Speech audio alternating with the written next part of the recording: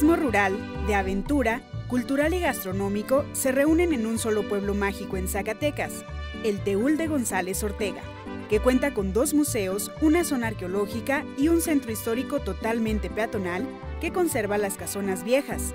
Además, la presa Laticuata se ha convertido en uno de los atractivos más importantes al ofrecer una experiencia única gracias al concepto de paseos en trajineras como las de Xochimilco. Aquí a la presa, en la presa pues aquí pueden ver están las trajineras, algunos kayaks, canoa india, algunas, la gente que quiera pescar también puede pescar, es una presa de las más limpias del estado y de las más limpias del país porque es una presa que se, se pues es agua totalmente de las lluvias. Es en un lugar muy bonito y nos divertimos mucho aquí mirando ¿verdad? todo lo que hay en este pues en este lugar nos, primeramente pues nos encanta estar en este lugar y es un lugar muy mágico, muy bonito.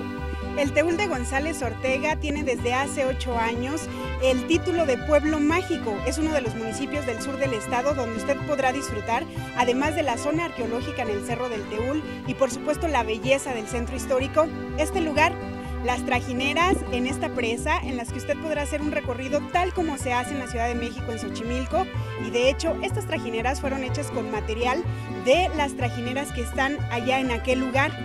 Un recorrido sin duda mágico y que usted podrá disfrutar aquí en Zacatecas.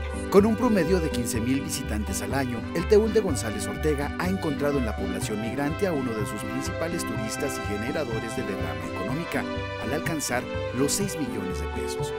Zacatecanos radicados en los Estados Unidos regresan al sur de Zacatecas en los periodos vacacionales para disfrutar de experiencias como el Festival del Hijo Ausente en agosto, o bien a visitar los museos, recorrer la zona arqueológica y el centro histórico, hacer camping en la sierra o disfrutar de las actividades que se ofrecen en la presa Laticuata que vengan por una o dos semanas y puedan dar un recorrido por la presa, que puedan ir a la mezcalera, que puedan comprar un mezcal que les recuerde que es su, que es su tierra, que puedan subir a la zona arqueológica y ver que tienen una raíz tan, tan grande, prehistórica y todo eso. Sí, la verdad al, al, paisano que regresa, la verdad sí le quedan las ganas de regresar una segunda vez. La mayoría se ha vuelto más recurrente y creo que eso nos va a ayudar mucho a que la gente recupere su identidad y recupere ese amor a su tierra que de repente la pierden por el paso de los años y la ausencia. Y vienen muchas personas, nada más las personas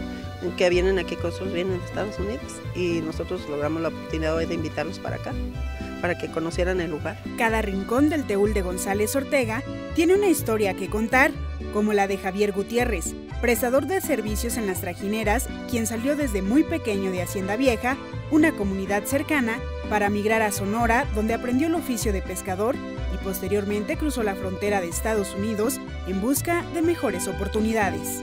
Pues todos nos vamos con un propósito de una ilusión de tener algo en México y a veces muchos lo logramos y muchos no. Yo me fui de la edad de 20 años a trabajar a Estados Unidos. Comencé trabajando de ayudante de albañil y pues no, no, no me pareció muy bien el trabajo, me cambié a otra compañía de pintura y duré varios años trabajando ahí. Adaptarse no fue fácil. De regreso a su país, hace 10 años, tuvo que volver a empezar en un pueblo que no conocía debido a que salió muy chico de él. Cuando yo llegué, pues tuve que llegar a otro pueblito donde no conocía a la gente.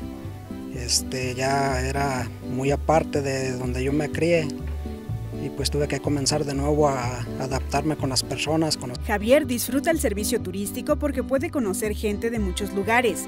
Además de esta actividad, también realiza labores en la obra haciendo honor a una característica de los zacatecanos, el trabajo. Pues que es nuestra tierra y por qué vamos a rechazar nuestra tierra y sea como sea salen adelante, eh, Dios nunca deja a uno. Para Sistema Informativo CISART, Ivette Martínez, y Enrique Cordero.